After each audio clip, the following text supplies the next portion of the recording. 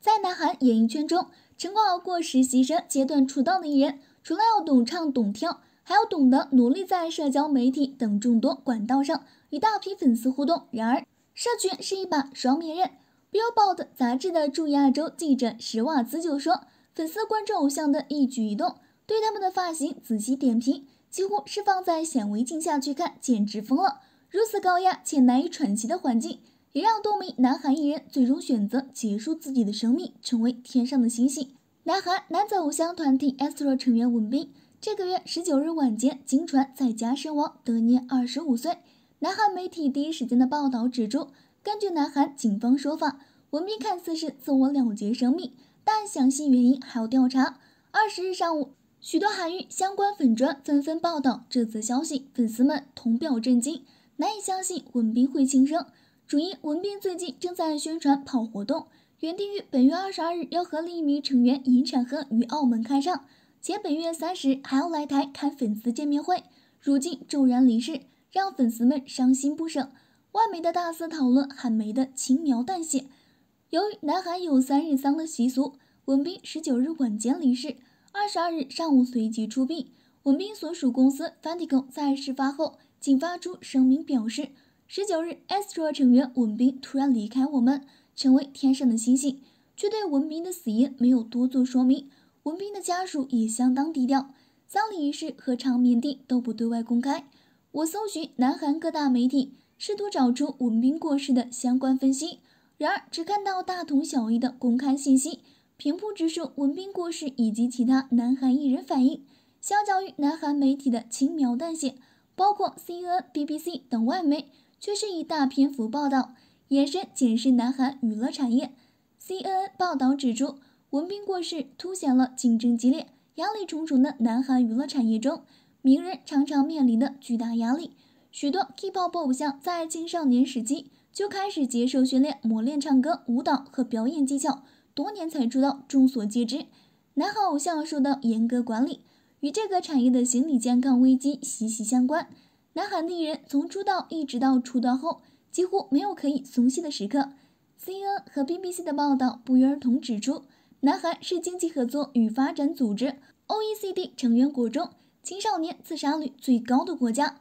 根据南韩卫生福利部的数据，2021年南韩自杀率为每十万人中就有26人自杀。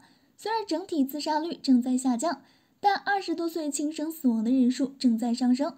许多外媒在报道中也回溯先前其他南韩偶像，包括 CINY 成员钟铉、KARA 的具荷拉、FX 的雪梨等偶像歌手接连重视，以及近日文彬之死，将再次唤起人们对南韩演艺圈文化的反思。想到偶像大不易，再累也不能喊苦。南韩网友戏称，在南韩当艺人是高风险职业。对此，BBC 采访 Billboard 杂志驻亚洲记者史瓦兹。他表示，在南韩当一个明星，意味着要承受比欧美流行明星要大得多的压力。这个压力有两大源头，来自经纪公司以及粉丝文化。追韩星的人大都知道，男偶像出道前要先当练习生，经过长时间训练还不一定有机会出道。像是文彬在十一岁时就已经出演过韩团东方神起的 MV，以及韩剧《花样男子》。尽管有童星经历，还是要经过八年训练。才能在二零一六年以偶像团体 Astro 成员出道。南韩经纪公司都有社内考评制度，练习生得从早练到晚，唱歌、练舞，反复练习再练习。而同期的竞争者诸多，只有少数人能够通过严格考评，最终才能站上舞台。就算出道了，也不能松懈，几乎宣传期行程满档，海外巡演一场接一场，几乎一举一动都被经纪公司掌控。许多偶像歌手从小进入经纪公司训练，几乎没有演艺圈以外的朋友，每天见到的只有经纪人、化妆师、服装师以及队友成员，连家人都不见得能够常见面。因此，若想诉苦也没有对象，在成名的过程中几乎是牺牲了自己的人生。网络上有不少网友推测，文彬过世是因为过劳猝死。有粉丝翻出本月八日文彬的直播画面，文彬说身体不太舒服，说实话最近有点累。但我努力不表现出来了，粉丝应该有发现了，让我感到很抱歉。这是我自己选择的职业，我应该要承受这些。这番话实在令人心疼。尽管偶像身体压力大，成名的光环还是很吸引人。根据南韩教育部在二零二一年的调查显示，演员、模特和歌手位于小学生梦想职业的前十名。南韩粉丝高标解释，连偶像娶谁都要管。由于现在社群媒体的高使用度，人气偶像几乎都有开设 Instagram 账号和粉丝互动。然而，社群是一把双面刃。Billboard 杂志驻亚洲记者史瓦兹就说：“粉丝关注偶像的一举一动，对他们的发型仔细点评，几乎是放在显微镜下去看，简直疯了。” BBC 的报道中，南韩流行文化评论家何在坚也说：“相比其他国家，南韩对于名人有着非常严苛的道德标准。去年肇事的南韩演员金赛纶，除了被判刑之外，个人形象也一落千丈。像是南韩女演员金赛纶，去年五月酒驾肇事。”除了一审被法院判处两千万韩元（折合新台币五十万）的罚款外，个人形象也跌到谷底。男团神话成员申彗星二度酒驾，最近正式宣判，判处有期徒刑六个月，缓刑一年。两人都被 KBS 电视台封杀，禁止出演节目。其他像是南韩一线主持人姜浩彤，二零一一年因为逃漏税受到社会舆论挞伐，宣布暂时退出演艺圈，沉淀了一年才复出。